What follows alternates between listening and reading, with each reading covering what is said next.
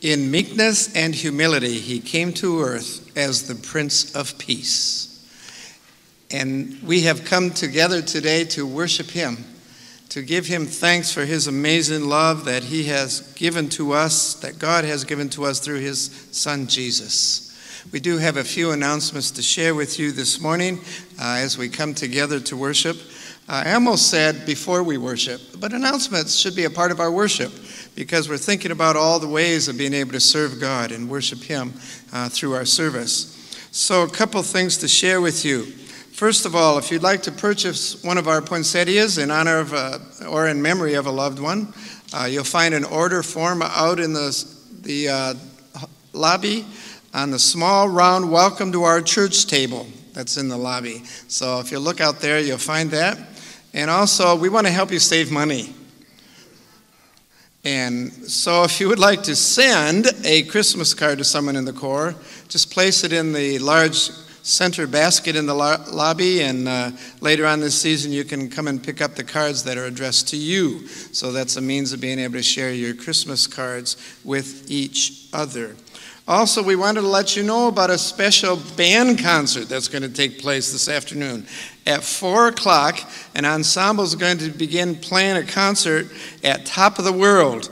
I think it's about the corner of Americus North and Americus West. Uh, that we will be having a concert there uh, with an ensemble playing. So if you'd like to join us, uh, we encourage you and invite you to do so at 4 o'clock this afternoon playing Christmas songs and lots of other things. Now, I, some of you have been reading your mail, of course, your email, etc., and uh, you will know that we've been sharing with you a concern that we have.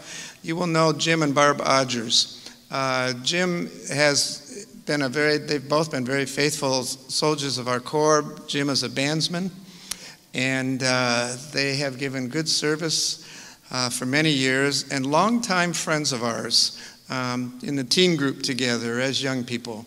And uh, we, we are very concerned for Jim right now. If you've noticed, he, he has an issue with the side of his face up here that they've just determined this past week is cancerous. Um, so Jim needs our prayers. Um, they're quite concerned. They're having a hard time with this. Um, they're, of course, going to see specialists this week, but uh, I would like to ask that you make sure that you pray for them this week. And in fact, I would like to pray for him right now because we believe in a prayer answering God. Let's pray for Jim.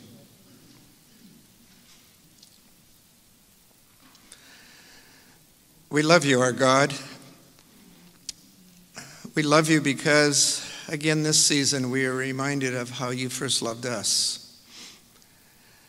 And we thank you, our God, because you are the all knowing, all powerful God.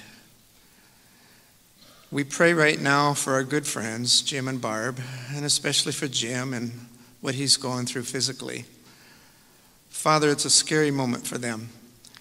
And we just pray, our God, that you will place your hand upon Jim. We do believe in your healing power.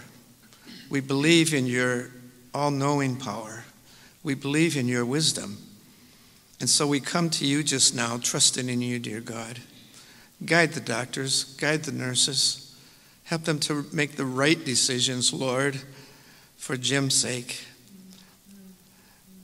Be with Barb, encourage her, comfort her during these days, and may they just sense the warmth of your Holy Spirit within their home and upon their lives just now. Father, I just pray that you might even surprise them with your strength, surprise them with your comfort, and yes, surprise them even with your peace during these days. And may they sense that we are praying for them even now. Thank you, our God, for hearing our prayer. Thank you, God, for allowing us to have opportunity to bring such needs before you. And now we leave it and give it unto you, trusting in you, knowing of your love Thank you, our God. In Jesus' name, amen. Amen.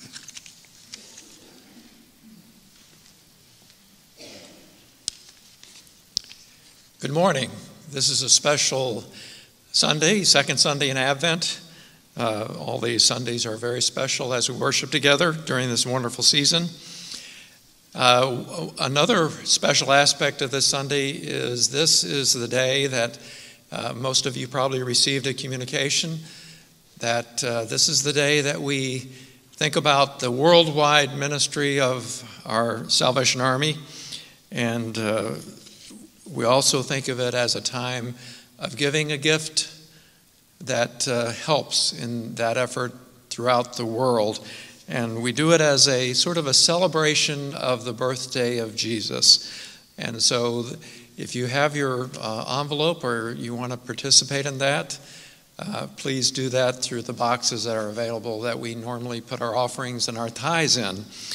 And uh, please uh, think about that. If you haven't had a chance to do that this week, sometime in the next couple of weeks, please, please do that. In Isaiah, the 60th chapter, verse 1, it says this Arise, Jerusalem, let your, shine, let your light shine for all to see, for the glory of the Lord rises to shine on you. And we know that Jesus is that light. Our offerings and tithes and our special gifts help this light shine in a dark world. Shall we pray?